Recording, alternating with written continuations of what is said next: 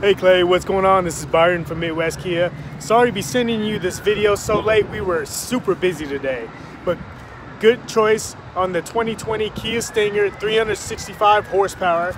As you can see, I have plenty behind me. If you have any questions, you can reach me directly at 316 854 4317.